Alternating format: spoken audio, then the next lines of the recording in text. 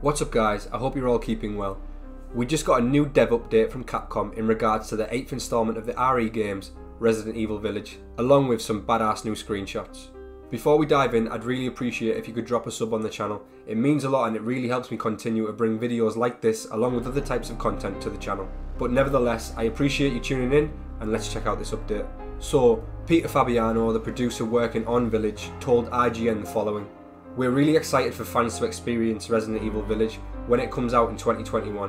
We feel it's an accumulation of all the best elements of Resident Evil games from the past 25 years, with everything fans love about action infused survival horror, plus new surprises. Of course, there are plenty of puzzles to solve and mysteries to unfold.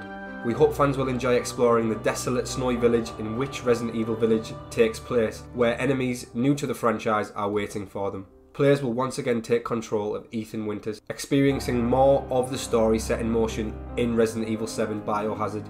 New technologies are allowing us to immerse players in the game in ways we couldn't achieve before, in what we hope will be the most pulse pounding Resident Evil game to date. I'm very glad to hear there will be puzzles to solve as this is a staple of the franchise and also that the game's story will carry on from where it was left in Resident Evil 7. Pulse pounding just lets us know that we're in for a ton of intense moments with this new installment and I honestly cannot wait. On screen right now are the brand new screenshots from the dev update.